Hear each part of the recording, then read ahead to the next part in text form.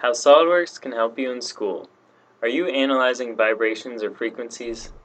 If you are, there are a number of tutorials that can help you out.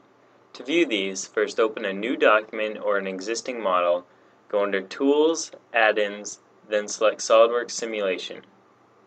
Once the tab appears in the Command Manager, go under Help, SOLIDWORKS Simulation, then Tutorials. In the window that appears on the right of the screen, select Frequency Buckling and Thermal. The tutorial called Frequency Analysis shows how to find the resonant frequency for a model as well as some other results. Under Linear Dynamics from the Simulation tutorial window, the bottom two tutorials focus on frequency as well as vibration.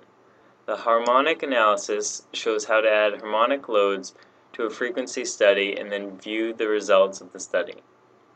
The Vibration Analysis looks at random vibrations on a circuit board and the effects that it has on its components. Under Help, SOLIDWORKS Simulation, Validation, and Verification problems, there are a number of practice problems that can be solved with manual calculations as well as using SOLIDWORKS Simulation. There are more problems that can be used for practice under Help, SOLIDWORKS Simulation, Validation, and NAFEMS benchmarks. The two sections to look at are natural frequency and force vibration. Problems found here can be used to tell how accurate SOLIDWORKS simulation is, but can also be used for practice as the correct answers can be verified after being calculated. The techniques learned through these tutorials can help you with other problems that are encountered in class and anywhere else.